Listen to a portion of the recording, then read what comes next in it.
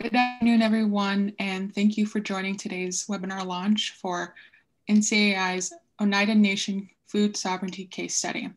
My name is Sadie Redegal. I'm an enrolled member of the Ottumwa Tribe of Indians, and I serve as a research associate here at NCAI. Before we get into today's welcoming, I just wanted to provide a small housekeeping note for today's webinar.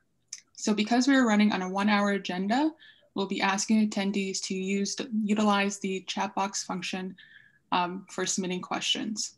If you have a question for a particular panelist, please identify that person when submitting. If your question is for all, please just say all. And lastly, if we don't get to your question today, or if you have any follow-up questions, please, be, please feel free to email us at foodsovereignty at ncai.org. And with that, I'll pass it on over to Ian Record to open us up. Ian, please take it away. Uh, thank you so much, Sadie. So welcome everyone, and thank you for joining us for this uh, webinar that launches the second in a series of five uh, case studies that NCAI is developing in partnership with tribal nations that document leading uh, tribal food sovereignty approaches across Indian country. As the slide shows, my, uh, my uh, position is Vice President of Tribal Governance and Special Projects. Um, the special projects part of that includes um, the Tribal Food Sovereignty Advancement Initiative that NCAI launched uh, back in 2018. Uh, wanted to briefly uh, take you through some of the other things that we either have done or will be doing uh, to give you a sense of how uh, NCAI is, is, adding value to uh, this field of, of folks, organizations, supporting, informing, um, and, and advising uh, and documenting uh, the, the tribal food sovereignty, food production, and food security efforts of tribal nations across Indian country. So you'll notice here we uh, four symposiums. Uh, this past uh, spring and summer of 2020, uh, we held four policy, policy symposiums that looked at the nexus between food sovereignty and then agriculture, land, water, and climate action. And out of that, we um, have developed uh, two policy resources, the first of which is our uh, Farm Bill uh, policy brief that we developed in conjunction with uh, several organizational partners. Uh, this this uh, Farm Bill brief looks at um, the state of implementation of the tribal provisions that were contained in the 2018 Farm Bill. And then it also looks forward to the 2023 Farm Bill and begins to articulate what the overarching priorities of Indian country are for that uh, updating of this incredibly important piece of legislation in Indian country. Um, we also will be funneling a lot of the what was shared by participants in those symposiums into a, a comprehensive policy brief that we'll be releasing at NCAI's uh, Executive Council Winter Session event in late February of this year. Um, we also have our five case studies. Uh, in 2019, we released our case study on the uh, Yurok tribe. Um, and then today we're launching our second case study uh, of the Oneida Nation in Wisconsin. And then in the next uh, month and a half or so, we're going to be releasing our final three uh, case studies, and we'll be doing webinars for each of those. And those uh, tribes are uh, the San Carlos Apache tribe, the Osage Nation, and the Blackfeet Nation in Montana. Uh, and then last but certainly not least, we just in the last couple of weeks released our tribal food sovereignty and food production uh, resource directory, uh, which features more than 130 programmatic entries um, that sh uh, show uh, tribal nations and individual native food producers where they can go find sources of support, uh, both financial and other types of support, such as technical assistance, scholarships, et cetera, uh, to support their food sovereignty and food production efforts. we'll be sharing that the link to that document as well through, oh, she's right on top of it there. There's the link to the uh, Food Sovereignty Resource Directory. And then the Tribal Food Sovereignty Advancement Initiative over the next uh, year or so uh, will be working on developing an interactive online resource center um, that shares um, tribal best practices from across Indian country uh, when it comes to the, the issue of food sovereignty, specifically looking at the role of tribal governments um, and, and what can tribal governments do working um, internally working in partnership with others across the community and outside of the community to uh, develop tribally uh, self-determined approaches to uh, reclaiming, rejuvenating, revitalizing, and, and, creating sustainable food systems uh, for their communities and their citizens. Next slide. So without further ado, I want to introduce our panelists uh, with us today to help us launch um, the case study uh, of the Oneida Nation's Food Sovereignty Approach, our three representatives of the nation. Uh, we have Chairman Hill, uh, who serves as chairman of the Oneida Nation's uh, Business Committee. Uh, we have Vanessa Miller, who serves as public, self, public health sanitarian in the Environmental Health, Safety, and Agriculture Division with the nation. And then we have Jesse Padron, uh, food service director with the Oneida Nation's School District, and all of them are involved in some form or fashion in the um, integrated initiative that Oneida has developed and refined over the past uh, few decades. And they're going to be sharing their, their, perspectives and their roles and their their outlook on this initiative uh, with us here today. And we're very honored to have them with us. And so, without further ado, I wanted to turn the floor over to Chairman Hill uh, to kick us off. And and Chairman, uh, you know, obviously you're you're looking at this from a leadership standpoint and and doing what you can as a, as a leader of your tribe to support and help grow this initiative over time. So, can you, from your perspective, just provide us an overarching uh, summary of of what this initiative involves, how the nation came about to develop it, and and how you see it benefiting your people? Yeah, definitely. Uh, Suguli Swagwake. Uh, greetings, everyone. I'm excited to be here today to share with you Oneida Nation's initiatives on food sovereignty. Our reservation is located near Green Bay, Wisconsin. Our total membership worldwide is about 17,000 members, with just over 4,400 Oneidas living on or near the reservation. Our reservation is approximately 65,400 acres, and we currently own about 27,600 of those acres. Our ability to produce, process, distribute, and educate about healthy foods, including our traditional foods, to our community is one of our top priorities. Next slide, please.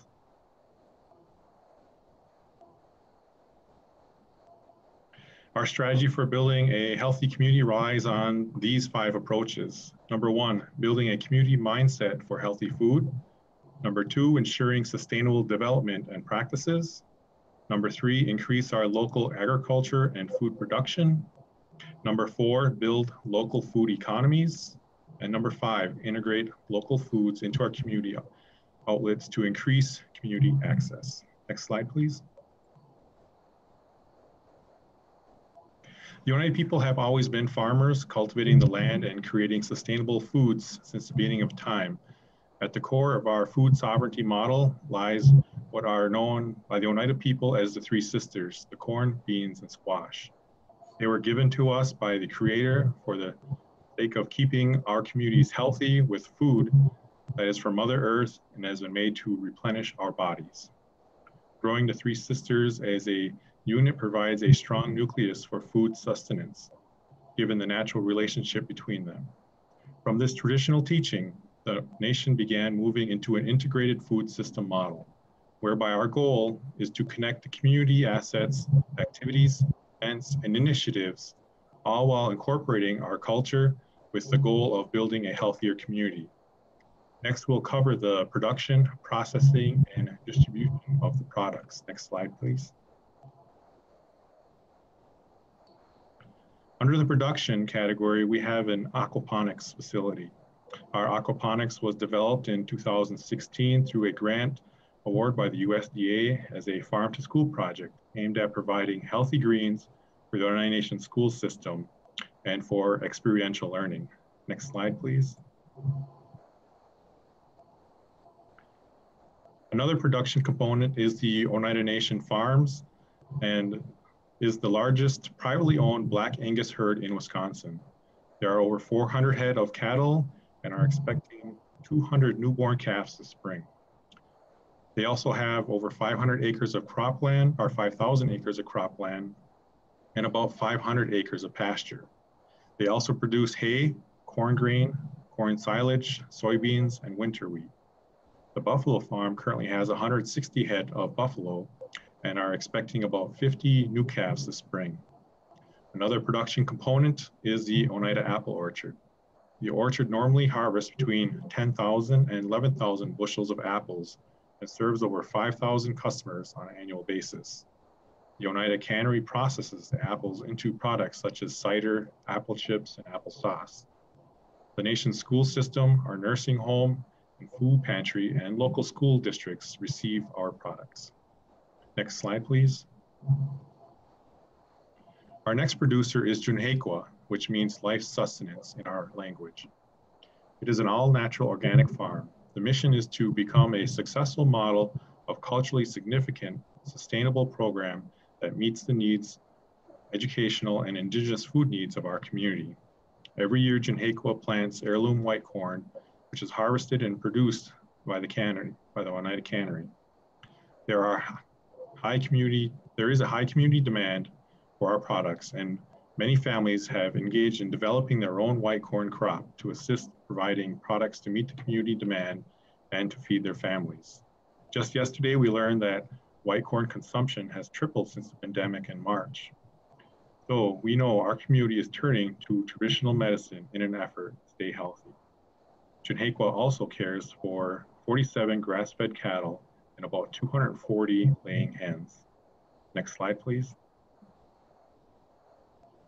That brings us to processing. In 1978, two Oneida women who were working with our local uh, county on food nutrition for low income families established our own Oneida Cannery that has developed into a cultural program commonly referred to as the cannery. The mission of the cannery is to assist community members with preservation methods through traditional and conventional teachings to strengthen self-sufficiency and self-sustainability. They encourage learning through hands-on approach and have community members using our facility to produce their own goods. They teach that food is our medicine and more knowledge, the more knowledge we have with our foods, plant life and medicines allows us to continue to work on Turtle Island. The cannery currently has 25 products with the ability to expand. They work with Tsyunhehkwa, the apple orchard, the aquaponics, and our pantry. Next slide, please. So finally, that brings us to distribution. The Oneida Nation utilizes several ways to distribute the products that we produce. The Oneida uh, Farmers Market is an opportunity to distribute products to the community. We engage the local farmers and vendors to hold the Farmers Market weekly throughout the summer months. We also have the Oneida Market, which is a small retail store physically attached to one of our five uh, gas stations, retail outlets, which provides the nation's products that are from Oneida Aquaponics, from the farm, the Buffalo Farm, Tsyunhehkwa, and the orchard.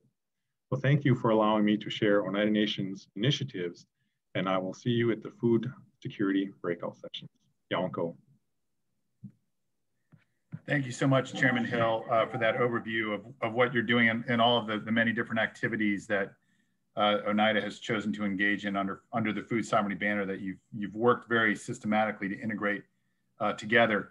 Uh, now I wanted to turn to Vanessa Miller, who, as I mentioned, is the public health sanitarian uh, for Oneida. And v Vanessa, based on what the chairman just talked about, it's clear that um, you know improving community health is a key driver of, of all of the activities that are contained within the Oneida Nations um, Integrated uh, Food Systems Initiative.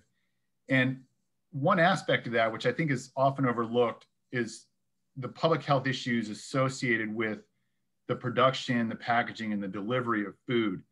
Uh, can you tell us uh, about how Oneida is tackling that that challenge and how you've worked to create, you know, laws and governing institutions to to advance that work? Absolutely. Um, so good everyone. My name is Vanessa Miller. I am the tribal sanitarian. Um, so I'm going to be talking today a little bit about how Oneida self-regulation um, has historically and continues to promote food sovereignty. Um, exactly what was mentioned here by Ian is that um, public health and safe foods is often a component of the system that is overlooked. So a little bit on the history here of how Oneida started our food laws and service codes. Next, next slide, please. So Oneida formally adopted our food service code in the year 2000. Um, in that code, the Environmental Health and Safety Division, which now houses the Agricultural Division as well, is listed as the regulatory agency.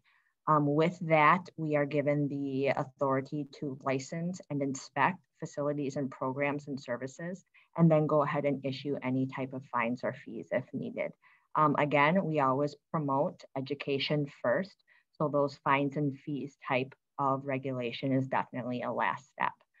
Within this code, um, we reference the quote unquote most current FDA model. So um, the sanitarian back in 2000 had the foresight to insert that within our code.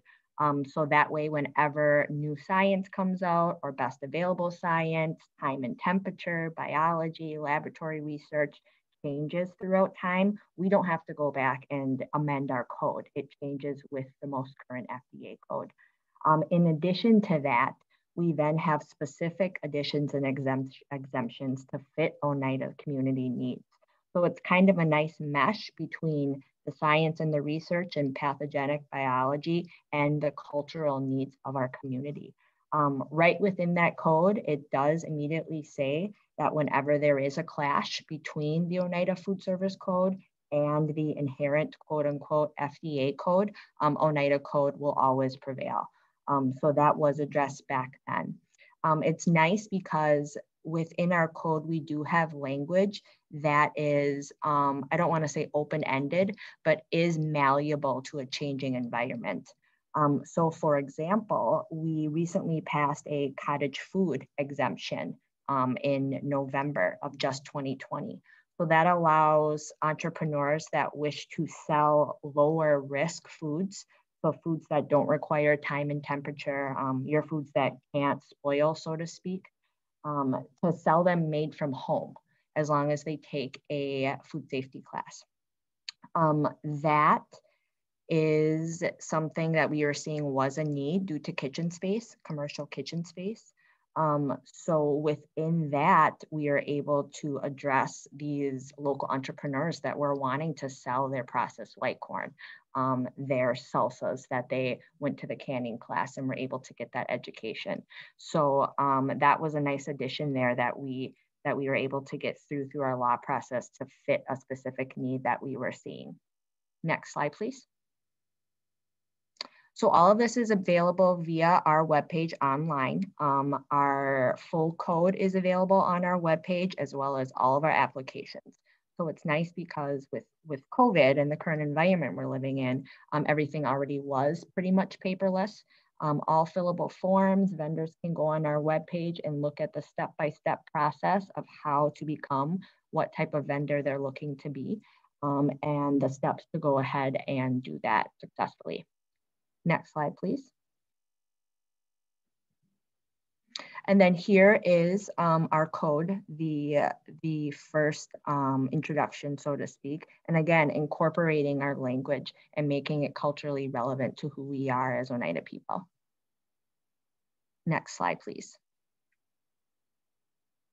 So being the regulatory authority here, um, we're charged with licensing and inspecting to make sure that the proper safety measures are in place, all with the end goal of um, both promoting food sovereignty and our needs specific to the community, but also one of those needs being keeping our community safe from foodborne illness, um, which again is very underreported, and we know that, but those illnesses that are reported are very high numbers. Um, so we do have several different um, levels that we inspect and license here. We do Oneida programs. So we, we go in and, and inspect our school system, our childcare, our workout facilities and fitness centers, as well as our food distribution program and um, emergency pantry as well.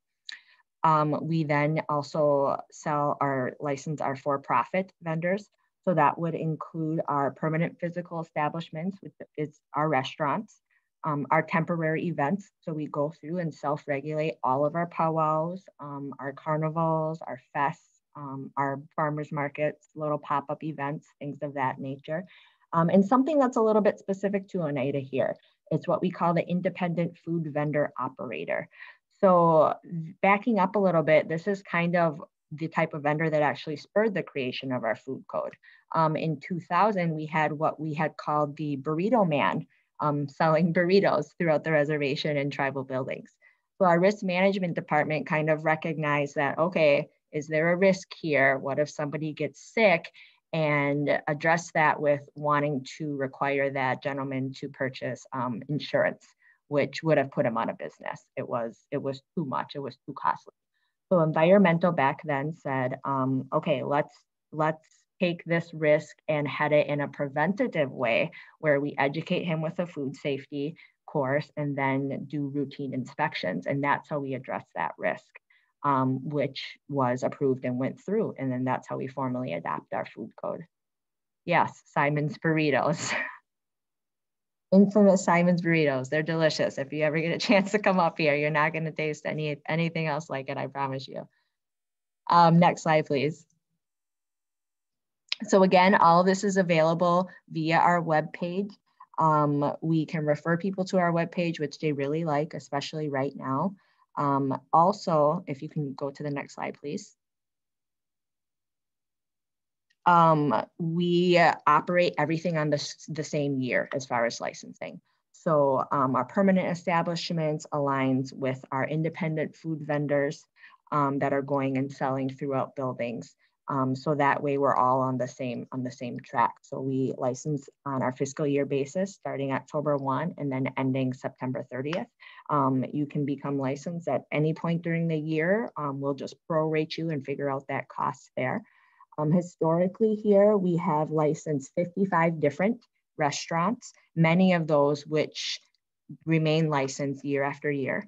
Um, independent food vendors, we have seen 25 different community members. Again, many of those that have stayed in business year after year. Um, Simon's is still up and running today, um, successfully, might I add, and is actually in our retail locations. Um, and hundreds of powwow stands, farmers markets, carnivals. Um, our Big Apple Fest has actually grown to have more vendor setups than our powwow currently. Next slide, please. Um, a requirement to become a licensed vendor is to take our Oneida food safety class.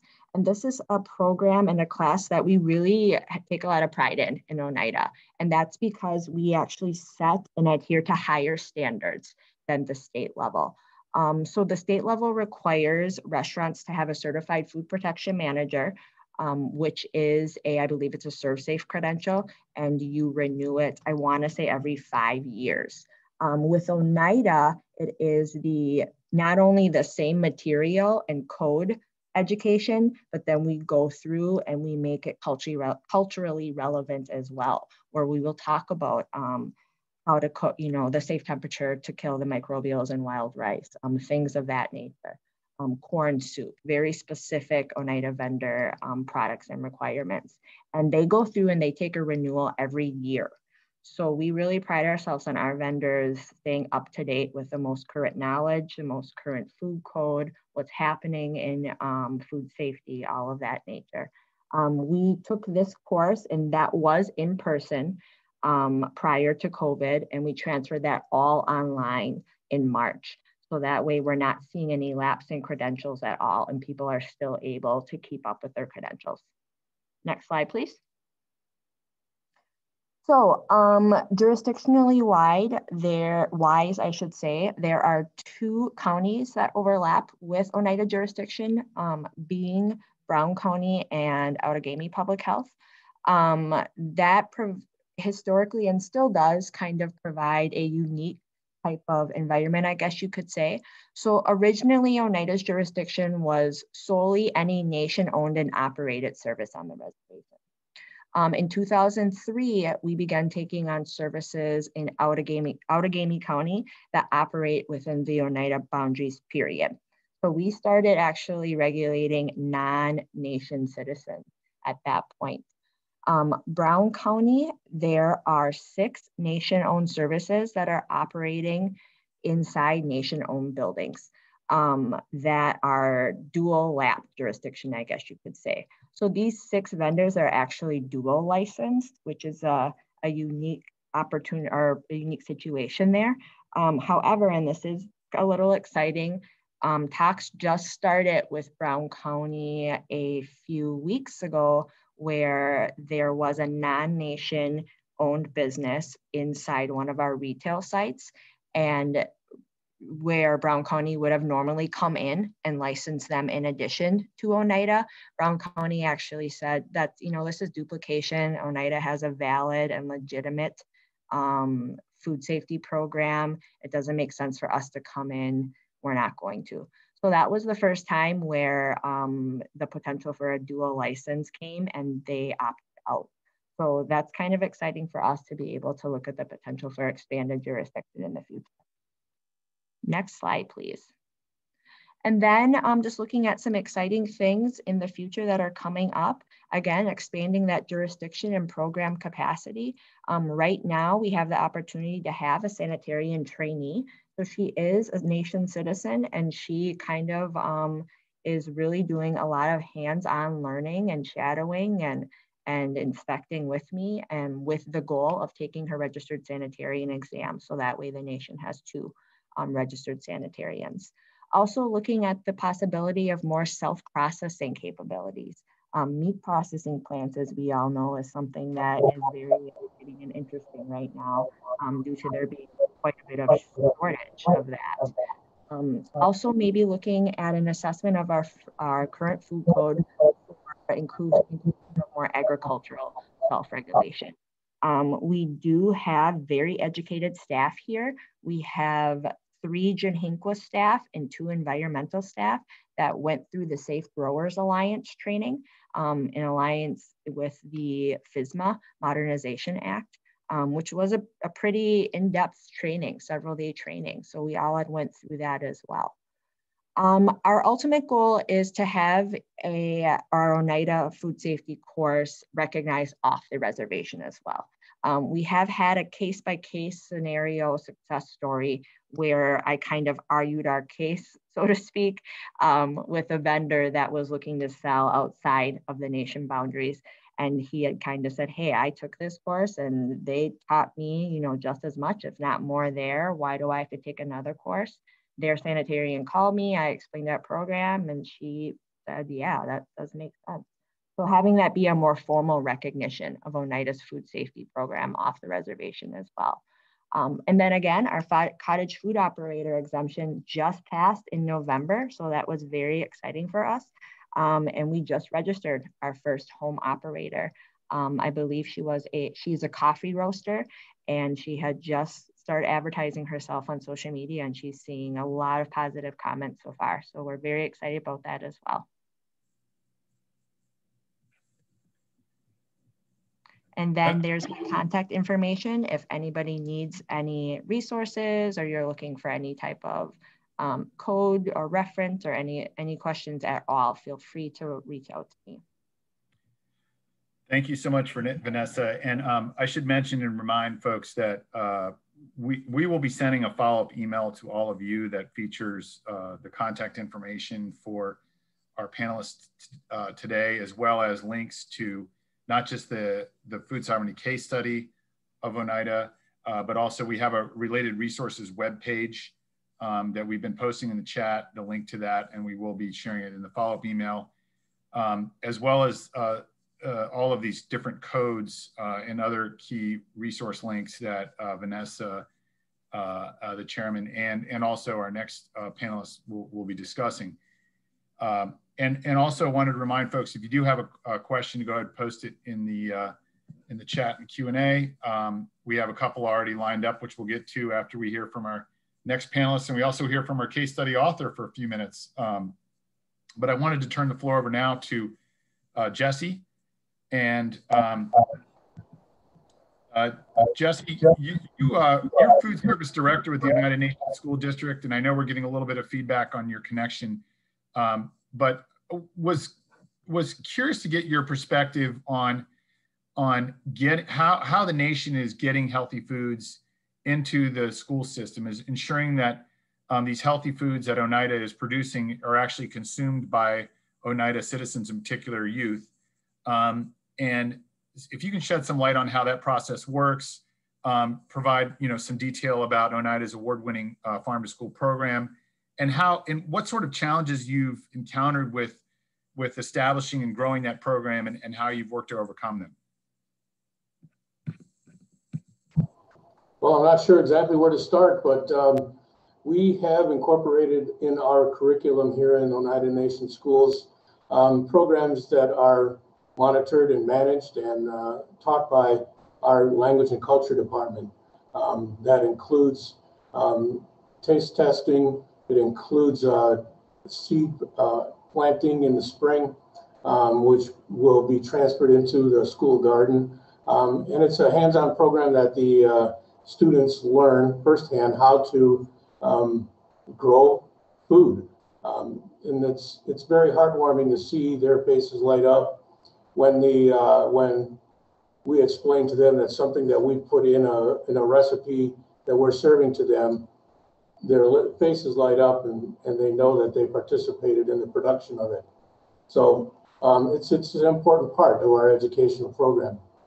Um, I wanted to start by uh, explaining um, some of the uh, committees that we have, or a committee that we have here in Oneida Nation. Um, it's called the Oneida Community Integrated Food Systems. Um, it uh, the members include a number of stakeholders on the reservation and within those uh, Wisconsin Oneida Nation um, tribal members. We uh, we have uh, uh, as members uh, the Oneida Nation Farms, the Tsyunhehkwa that Chairman Hill mentioned, the Apple Orchard, the Oneida Retail segment, the Oneida Nation Aquaponics, and the Emergency Food Pantry. Um, and of course, the Oneida Nation School System. Uh, we meet on a monthly basis. Uh, we had been meeting in person up until March. Uh, we have had virtual meetings since then. Um, our most recent would what it was last uh, yesterday, Wednesday. Um, the uh, uh, we are also members of this Wisconsin's Farm School Network, the Intertribal Agricultural Council, and a group here in Northeast Wisconsin called WELLO, uh, which is an umbrella group that links local farmers with a number of school systems in the area. Um, we have also contributed to the uh, traditional foods publication in cooperation with the Wisconsin Department of Public Instructions, where uh, we created a, um, a, a, booklet, uh, a toolkit, if you will, uh, to help other um, tribal nations within the Wisconsin uh, borders to um, bring traditional foods to their uh, to their kitchens and their cafeterias. Um, one of the one of our uh, contributions was the uh, uh, corn soup that we that we enjoy so much here. Um, going back to uh, what um, Chairman Hill mentioned earlier with regard to the uh, Angus beef and the buffalo, we established an intertribal purchase order system where we can order beef and buffalo from Oneida Nation Farms, have it processed and delivered to the schools uh, for use in our cafeterias. Uh, we have a number of recipes that we have been uh, uh using. Uh, we're mixing 50% uh, buffalo with 50% black Angus beef and creating different recipes with those with those products. we're also able to order um, apples. As a matter of fact, we just finished our last order with the apple orchard in late December. And uh, that was the uh, Jonathan variety. But um, they, we can start purchasing from the apple orchard as early as August when, uh, when our schools open. And um, as, as I mentioned, we have a five month window that we're able to make these purchases with. Um, as uh, Chairman Hill had mentioned, uh, we have uh, available to us through the Tsyunhehkwa uh, Oneida Nation white corn, grass-fed shorthorn beef, which is the only um, shorthorn beef program in Wisconsin. And uh, we're very happy that that's now going to become available uh, for purchase from Tsyunhehkwa. Um, they also raise a variety of fruits and vegetables. For us uh, that we use in um, in school system on our salad bar, um, and also is processed um, so that we can uh, serve things, um, serve some of their products in the uh, in the um, school cafeterias. We also have our aquaponics program, which uh, we're very, very happy and proud of. We uh, received a national award from the Indi- Intertribal Agricultural Council uh, for um, uh, our avant- avant-garde um, position uh, where other um, tribes and other school systems are uh, can come to Oneida, learn about um, how the process started, what the total process from start to finish of how the uh, uh, seedlings are planted, grown, nurtured, and and uh, and harvested. Uh, we also have uh, a number of uh, tilapia that grows within the tanks that feed the that that feed the plants so that they can have the nutrition that they need. And the aquaponics project has been a big eye opener uh, in that uh, our our growing season here in Wisconsin is pretty short. So uh, we have to take advantage of every every opportunity to um, keep those keep that program going.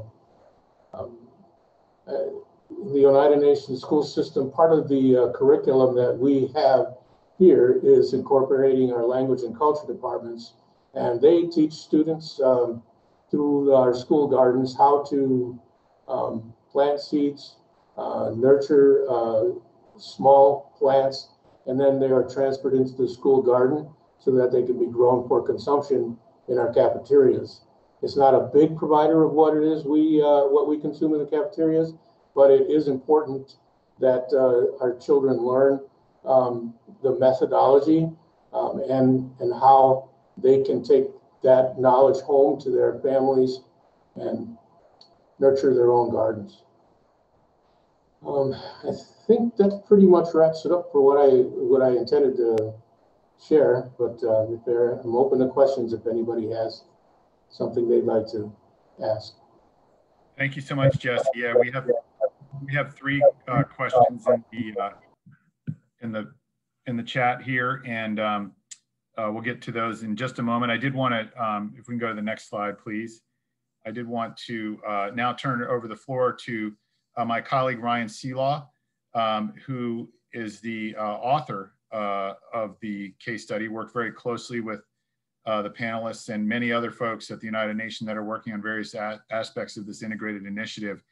want him to share for a few minutes about the transferable lessons and strategies that um, that we drew out of our engagement with Oneida and what, what they have to offer in terms of uh, advice and guidance to other tribes that are either looking to establish food sovereignty approaches or, or grow approaches that they've already created. And um, this is a standard um, component of all of NCAI's case studies is to feature five or six uh, short uh, summaries of what we feel um, are the most um, the most beneficial pieces of a particular tribe's approach and what they mean for other tribes. So with that, I'll turn it over to you, Ryan. Ian, um, as Ian mentioned, when we're writing these case studies, you know, we're not simply trying to um, just, it's not simply a show and tell of the good things that the tribe is doing, um, but also to try and have some lessons that might be transferable or usable in other contexts. And I'm gonna try and go through a couple of these quickly um, so that there's more time for Q&A, but they are all in the case study um, and you can read about them there in a little bit more you know, expansive fashion. Um, next slide, please. Um, but so the first lesson we sort of want to talk about that came away from our experience with Oneida is we call institutionalizing integration. And you've heard a lot about this today. Um, Chairman Hill talked about this definitely in his PowerPoint uh, presentation. And it's, you know, when you think of food sovereignty and exercising control over food systems, that's a very large uh, task, right? A, it's a huge scope. You have different components of it. Uh, many tribal nations have the various components in operation, uh, but they may be operating in sort of a, silo effect, or where they're just sort of focused on their, in, you know, their one piece, um, but not necessarily thinking larger scale or how they can work together. And one of the things that the Oneida Nation has done over the past, um, you know, three decades is something uh, that Jesse talked about, which is they've actually institutionalized some efforts to integrate all of their systems. One of those being the Oneida Community Integrated Food Systems, OCIFS, um, which is, as Jesse talked about, is a body where people from different ask from different stakeholders from around uh, the tribal nation can actually talk together and, and address some of these issues together. Um, they've also created, uh, you know, another institutional piece where they've hired uh, an OCIFS coordinator, a person whose position, a permanent position, whose whose job description and title is to help facilitate that dialogue, to look forward for programs, opportunities, initiatives, grants, whatever it might be, um, ways to, to grow control over the food systems. And so that's kind of what we're talking about with institutionalizing integration, and that's some of the ways that they've done it. Um, next slide, please. Yeah, so an, another transferable lesson um, that came from our time with Oneida was this idea of empowering community ownership and agency. And uh, when I was interviewing you know, lots of people, and I was interviewing them at the Oneida Nation, talked about how the government can't do everything, and really that the it's not the government's role to do everything in the food systems. Um, and that actually, there, if you want the community to be healthier, you want the community to have buy-in and participation, and that they are be, going to be doing some of the work. Um, it also frees up sometimes government resources to do other things when the community is involved in some of those efforts. And so Oneida has taken a real uh, approach where they, um, you know, are they're aware that the government isn't going to control and do everything, um, but that they can do things to empower community members um, in this space. There's a couple examples mentioned in the case study. I'll just mention one that was briefly referenced, and that's with this uh, a group called the White Corn Growers Association, which is a community group um, that is trying to grow, you know, traditional white corn. They're trying to improve um, the quality of it, increase the number of the seeds. Um, but they've had some, you know, some actions by the government to help them along um, in terms of land usage, in terms of um, using some of the equipment from the Oneida Nation's farm to make that land, um, you know, better plowable, growable. Um, it's just one example uh, of several that are mentioned in the case study about how you can empower your citizens to kind of fill some of these spaces and, and make a, a, more elaborate system or more elaborate control over a food system. Uh, next slide, please. Um, another thing we uh, took away from the Oneida Nations was this idea of pervasive and sustained education. I think this is something that everyone knows on some level that if you want to change how people are acting, um, change their habits, that you need to change their mindset and that there's an education component involved in that. Um, but one thing that we you know, saw in talking to people at Oneida is, is sort of the long-term constant education that's going on with respect to healthy eating, healthy living, food systems. And that's everything from uh, what Jesse was talking about, you know, curriculum in the school system to community events um, like the Husking Bee, like the Apple Fest, where there's an opportunity for the community to interact with healthy foods, to learn about them, um, to even just informational pamphlets, health, you know, things at the health center, uh, classes, those types of things that are providing uh, continuous education, trying to reach all sectors of the community um, so that that mindset can change over time. Next slide, please. Um, a fourth sort of transferable lesson or strategy that we took away um, is this idea of prioritizing access to healthy foods. And this again is something that has been talked about um, by all three panelists. So, you know, it's one thing to produce healthy foods. Uh, it's another thing to say, you know, to work on sort of the healthy lifestyle portion of things. But um, the people need to have access to the foods um, if they're going to if there's going to be a change, right? It has to be somewhat easy for them to do. Um, and this is done in the school context that Jesse talked about quite a bit, um, where you know fresh produce, um, the meats and things are coming to the school, um, so there's access in that capacity. Something that wasn't mentioned, I don't think today, but that's in the case study is also talking about how the Oneida Nations uh, care facility, nursing care facility, does a similar thing where they have uh, local produced native healthy foods that are being served to their elders. Um, and then as Chairman Hill mentioned, you have uh, things like the Oneida Market, which is a place where people know they can go to. It's in a convenient location. They know where they can find the, these foods. They know where they can find the traditional foods, um, the locally grown foods from um, in their area, so that they have access to those foods um, on a regular basis. Um, obviously, the cannery, which was talked about, plays into that too because it allows you access for longer periods of time because um, it preserves the food for longer periods of time. That sort of thing also fits into that same idea. Next slide, please.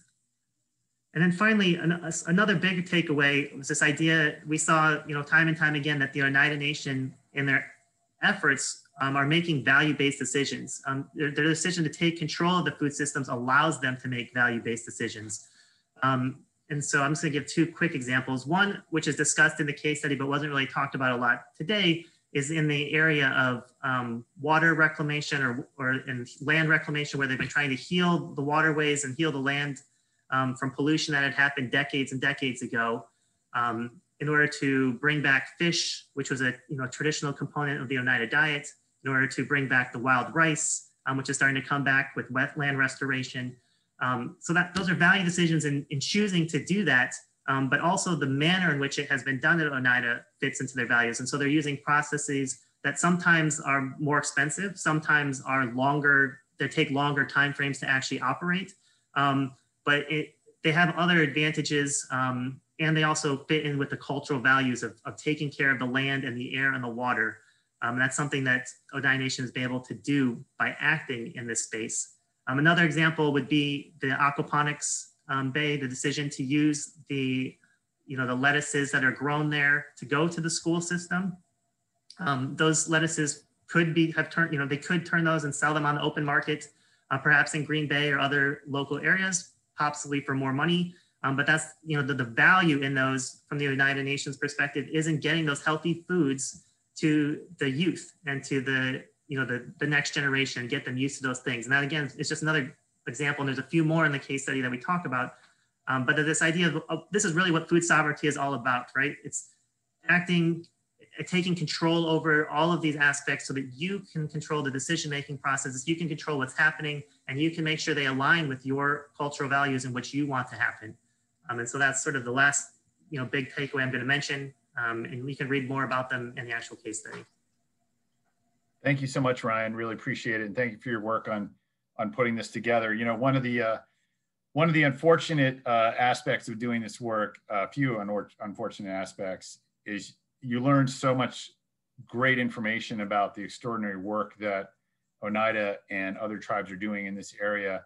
And you got to try to cram it all into roughly about 3,000 words. And it, it never does the story full justice, but we hope that, you know, this case study and the other ones that we're releasing at least give people the basics about the, the different approaches these tribes are taking. And then, and then, and then folks, you know, here uh, attending the webinar and others across the Indian country can take it upon themselves to engage with the, these tribes directly to learn uh, more of the minute detail about, about not just what they're doing, but more, more importantly, how they're doing it and how their approaches and their processes and their systems can be um, not you know replicated wholesale, but you know certain pieces taken and remolded and re recustomized and refashioned to you know by other tribes to fit their particular uh, values, their particular priorities, and their particular uh, needs. So uh, with that, we wanted to turn to the to the Q and A and the time we have remaining. And it does not appear we we have a very engaged group today. It does not appear we'll be able to get to all of these questions, but I, will cherry pick a few. And what we'll do is we'll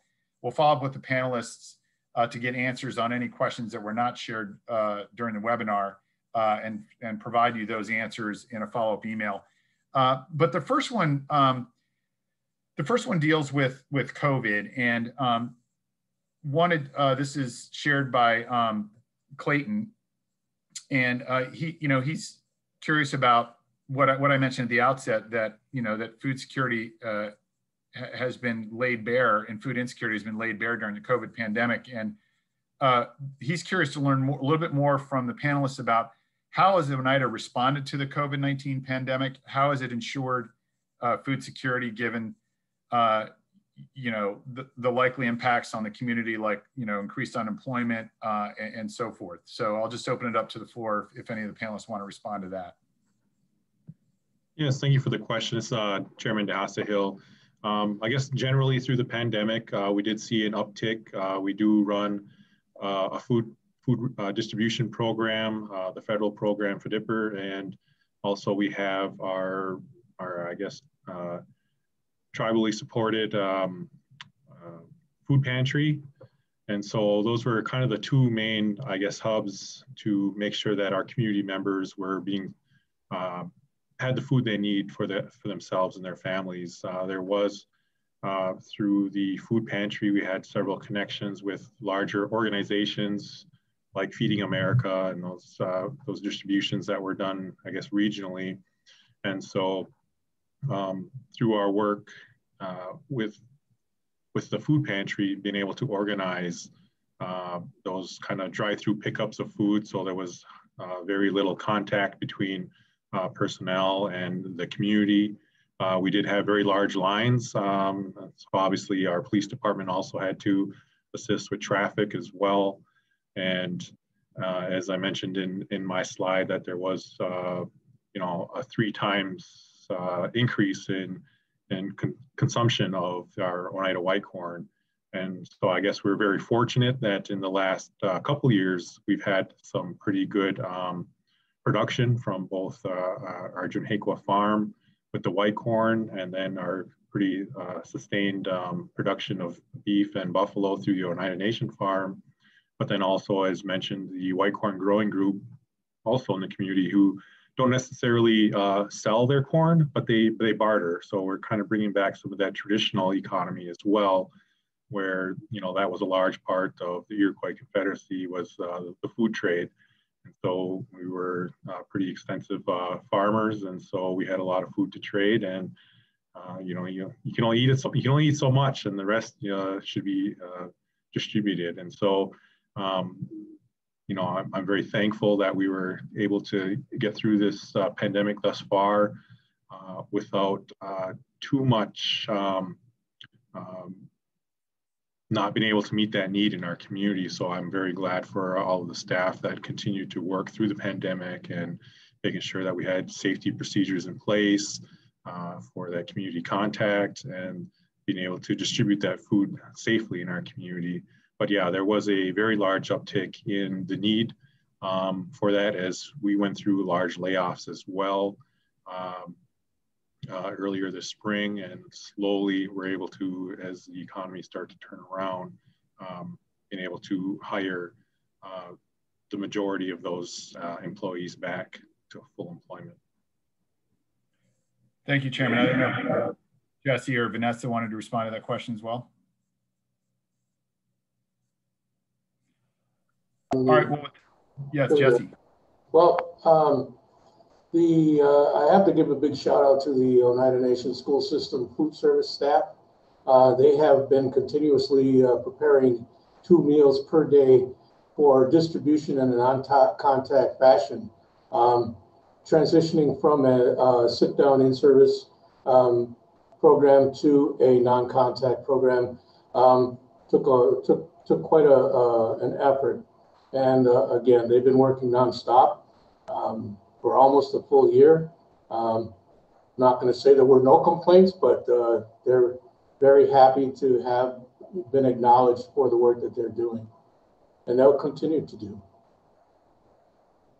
Thank you, Jesse. Uh, I wanted to turn to a question now. Um, I believe both of these would be probably for Vanessa. Um, Vanessa, the, the first one deals with uh, federal inspection. So are the cannery and, and uh, pardon me if I get the pronunciation wrong, but um, Tsyunhehkwa uh, farms subject to federal inspection or does Oneida inspect those? And then uh, a related question about um, conflicts between traditional food handling and preparation practices and public health codes. So if you can shed some light on those, we'd, we'd appreciate it. Sure. Um, so that first question there, um, is not subject to federal inspection. Um, we do house that expertise and ag expertise in-house. Um, they used to be certified organic, so they would undergo that certification inspection. They no longer are. Um, and actually something very exciting that they are pursuing is an indigenously grown certification um, that is much stricter higher standards that and responsibilities that we have always um, and the staff had always adhered to, but now making it more formal. Um, the cannery is subject to FDA because they are a cannery um, processor. Um, so they do undergo those inspections because we do not have an FDA canning inspector in-house. Um, however, again, um, the cannery actually has higher standards even for ourselves that we uphold than what is, I guess, quote unquote, regulated upon them. So you'll often see that on the case um, internally with Oneida with our self-regulation, which I think sometimes is a misconception when you hear self-regulation, that people think it's a way to I guess, quote unquote, get out of regulation. And it's really not. It's a way to fit your specific needs with a specific um, tailored response, which we do have higher standards for ourselves in many instances. So for the cannery example, um, FDA requires a pH of 4.6 or lower. The cannery actually goes above and beyond that, and they don't put anything on the shelves that's 4.0 or, or, or higher. Um, so again, recognizing that we do live and serve a higher risk population and community and tailoring our requirements to that, which we know we can, we can fit and accomplish. Um, that second question there, um, has Vanessa experienced any conflicts between traditional food handling preparation and public health codes? Um, I don't want to say conflicts, but sometimes there's a lack of mention of a process within the FDA code. So basically that is when, again, Oneida Food Service Code um, takes primacy and we work with the um, producer or processor to come up with a um, safe way of something happening. For example, using wood ash for our white corn, um, we had processors want to take that and accept that from community members. So we have them track it we have them track it and they sign something that says um, this wasn't contaminated wood, it doesn't have gas on it, anything of that nature. Um, so that way, if there is something that were occur, we could go back and do some type of product recall. Thank you so much, Vanessa. That's that's a lot of great insight, and I, I imagine uh, there's many folks that are attending this webinar that might have more technical, uh, detailed questions that they would want to dive into with you once they take a look at your code and, and, and all of this, all of the stuff that goes with it. Um, we are out of time and we have a lot more questions. Like I mentioned, we are, we'll, we'll get those answered for you uh, by engaging with the panelists after we wrap up here today and we'll send you those answers in a follow-up email. Um, I did want to um, mention to you that uh, we, we are recording uh, this webinar. And so um, probably in about the next week or so, we'll be uploading this to NCAI's YouTube channel. And um, we will be including a link to the webinar recording, as well as the uh, Oneida case study, the Oneida um, case study resource webpage, and also um, other, other information that, that uh, the Tribal Food Sovereignty Advancement Initiative and resources that we have to offer, um, as well as the answers to the questions that we're not, that we didn't get time to, um, to delve into today. Um, so with that, I, I wanted to um, just show you in the last slide here um, some contact information for our staff here. If you want to learn more uh, about our, the initiative or the case study specifically, uh, there's the, the email addresses for Sadie and for Ryan. And uh, wanted to, to, to, close by thanking, um, on behalf of NCAI, our panelists, um, uh, Chairman Hill, uh, Vanessa Miller, Jesse Padron, and um, and all of you for attending today. And please be on the lookout for our next uh, case study webinar launch, which will be in a couple of weeks time. And uh, we look forward to seeing you soon. Thanks so much.